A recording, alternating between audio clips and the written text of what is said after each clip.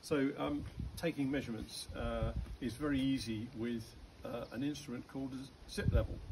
Um, it's quite unusual thing. If you've seen optical levels before, uh, it, it's just a totally different thing. Um, it has two basic components. One is this base station, uh, which has a, a, reference point inside it, and then a measurement module that you carry around with you, and this is what shows you the results.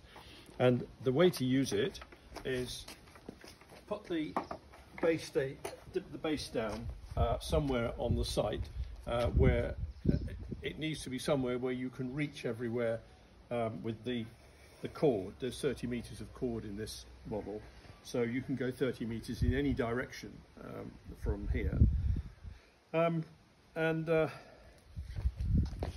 to start working, you switch it on and then um, take your data. If you were going to do some alterations, for example, out here or build something, um, what you need to do is uh, take a datum point somewhere that isn't going to be altered during the building work.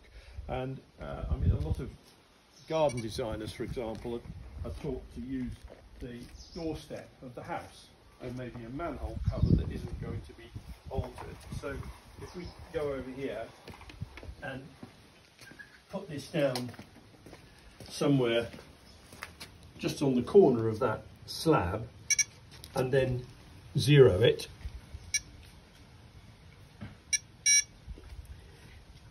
and now um, you can go anywhere around this site and take and check measurements. I mean, for example, it looks fairly flat up to here, but in fact, there's a two and a half, roughly two and a half centimetre difference.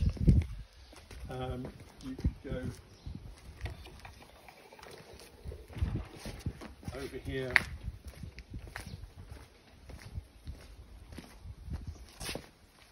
and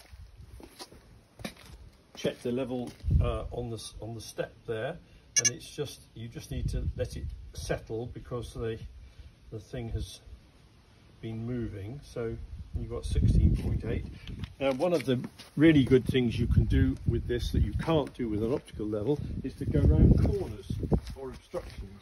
So I can walk so that the the um, base is still back there. So I can walk around the corner of the house so I'm completely out of sight uh, of, of the base and check a level round here.